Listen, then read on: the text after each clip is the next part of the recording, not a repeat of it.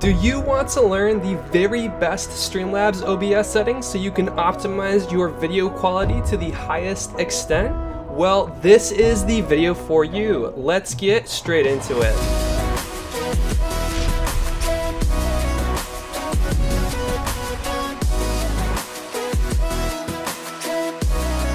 Hey, what is going on guys? It's Delvige, and today I'm bringing you a Streamlabs OBS recording tutorial. Now I know a lot of you guys out there make your own content, stream your own games and that's so cool. So I wanted to make a tutorial on Streamlabs OBS, a basic one to help you guys kind of get the very best settings. So without further ado, let's get straight into it. On the bottom left hand side, you'll have your scene selection and this is essentially where you choose the scene that you're going to be using. For me, I actually have three separate ones. This is just the basic one that I created before for no reason essentially. Uh, but yeah, I have three separate scenes. I have one for regular recording, one for streaming, and one for visuals by Impulse, which is a graphic company that I work for. Going back to these scenes, essentially what you can do is you can create multiple scenes and then inside those scenes you have sources. And sources can be anything from your display that's capturing your monitor, it could be an image that you input, it could be any kind of alert or widget that you would put for streaming, but for the recording side of things,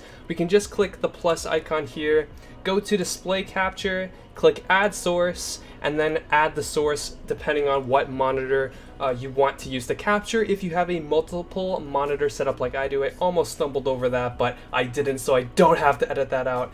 Super proud of myself, but yeah, just rename it, uh, add new source, and it'll show up here in the sources. I've already done that. As you can see, I'm currently recording monitor one to record this YouTube video. If you want to hide a source, all you got to do is click this uh, eyeball right here. And uh, I'm not going to do that because my screen's going to go black and that's not going to be a good viewing experience. But on the right hand side is your mixer, which is where you record all of your audio throughout your recording or streaming. Right here you have your microphone and auxiliary, which is what I'm using right now, my Blue Yeti microphone to record audio for this video. And then you also have desktop audio, so this would be where your game audio audio would come from if you were to record a video game. Down below all of these three mini little sections here, we have this one bar, uh, which is the button to go live once you have your stream stuff set up, the recording button, a button to test the widgets for your stream, which is just not uh, applicable in a recording setting, to the left here, this is where you have the percentage of your CPU that the application is actually taking up, which is pretty nice to have. You have your FPS that you're currently recording at, dropped frames in case that's an issue, uh, your notifications, as well as cloud backup, and then the kilobytes per second is essentially your upload for when you're streaming, which just doesn't apply to recording. The next thing that I want you guys to go up and do is go to the settings icon on the top right. It should be the gear icon, and you're going to want to go to output. So once you have output output here, change the output mode to advanced, and then go all the way down to recording. Now you guys can copy the settings that I have here because this actually works really well. Some things are going to change depending on your computer. So for example, you can choose your recording path, you can click browse, and it'll take you to your file explorer on your computer if you're using Windows 10, and you can choose a specific file for the output of your videos. For your recording format, I like to use MP4, but if you have other needs for your videos, you can definitely change that here. For audio tracks, I like to leave it as one, but if you have multiple audio inputs, then maybe that's something that you need to dabble and change with.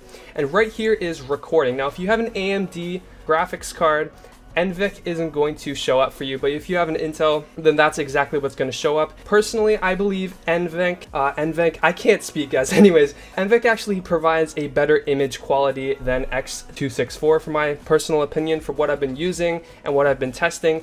NVENC actually provides a better image quality, so I definitely recommend you choose that, especially for recording, guys, because recording, you don't have a whole lot of power that's being used compared to streaming. If you want to rescale the output of your actual video quality, then you can check this box and you can choose the output resolution, but for the purposes of this video and for what I use, I'm not going to check that. For the rate control, just choose CBR, that's the best one in my opinion.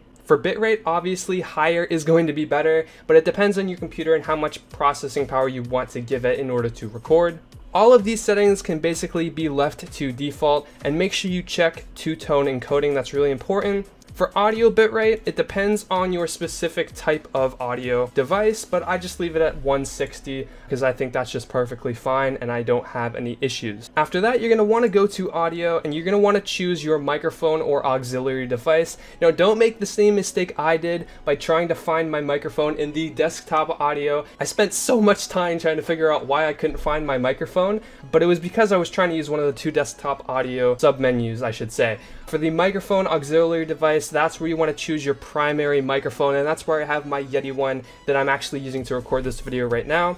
Moving on to video, I choose 1920 by 1080 at 60 FPS. Now if you want to record in 30 FPS, you can go ahead and do that. If you want to record in 720p or even a higher resolution, you can go ahead and do that. But 1080p 60 FPS is what I like to record at. The next probably most important option is downscale filter. I believe by default it's at bicubic 16 samples. You're going to want to change that to Lanczos sharpened scaling 32 samples. Underneath video is the hotkeys. Now you can go through all of these if you really want to, but I don't personally have any hotkeys set up, although if you have a Stream Deck by Elgato, you might want to click a button in order to start your stream instead of having to go straight into the Streamlabs OBS platform. For advanced settings, what I would do is change the YUV color range from partial to full. And yeah, that's basically it guys. Um, also, I guess I should mention this, when you first install Streamlabs OBS, I do believe it's it's not in night mode, it's, it's just like regular day mode. Personally, I hate this. Like, I don't know if you if you don't use night mode, I can't, I don't know. Like, honestly, I don't know.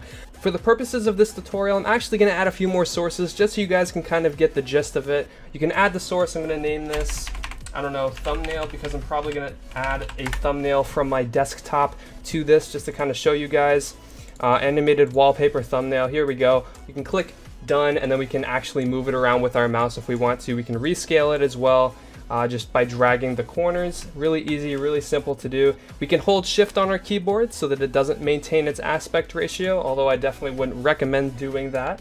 And we're actually just going to delete that because we don't have a need for it. Uh, moving on to the mixer, which is basically the last thing that I want to show you guys. Um, we can change the volume by dragging down this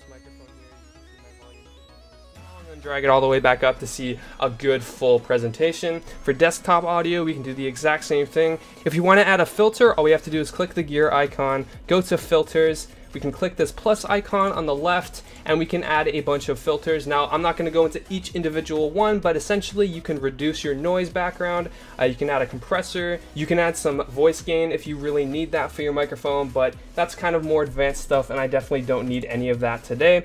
But yeah, guys, I hope you enjoyed. Again, I'm going to be making a separate video on the actual best stream settings for Streamlabs OBS in 2019. Again, I hope you guys enjoyed. I said that twice, but whatever, we're going to keep going with it. Uh, if you did, make sure to give it a like rating, and good luck recording with this program. If you want to see a, a tutorial for this regular OBS, I can do that as well. But yeah, guys, until next time, my name's Delvige, and I'm out. Peace.